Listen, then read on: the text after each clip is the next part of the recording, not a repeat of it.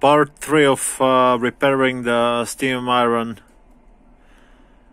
I told you the, on the part two that the problem was in the coil and it's my fault of misdiagnosing that it isn't.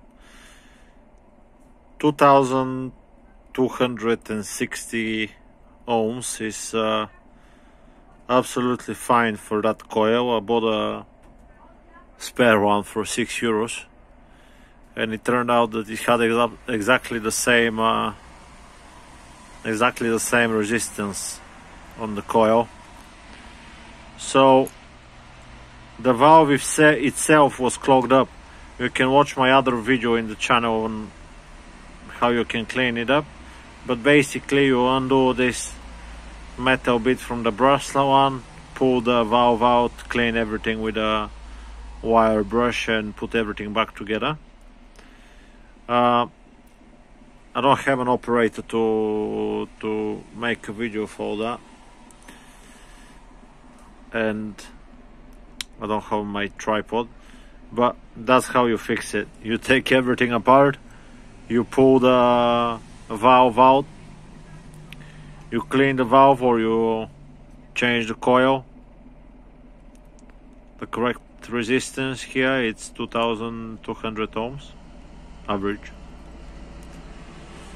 Put everything back together and it's gonna be working.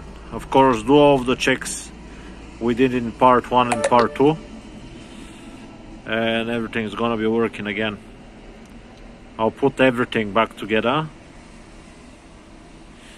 And I will show you the steam iron working. Anything else?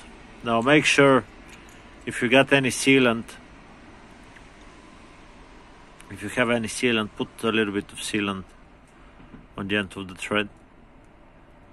I think it's gonna be helpful. That's it. I'm very sorry if you watched part one and part two and you thought that this is a problem. I'll put in the description below that uh, I was not right.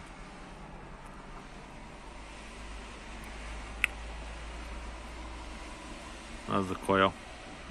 I bought exactly the same one, the same brand and uh, still made in Italy. I was like, ah, that's that sounds right.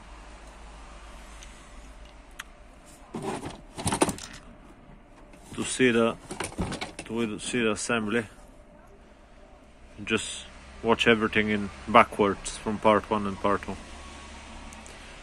That will be the end, and I will uh, make a short video of the steam iron working.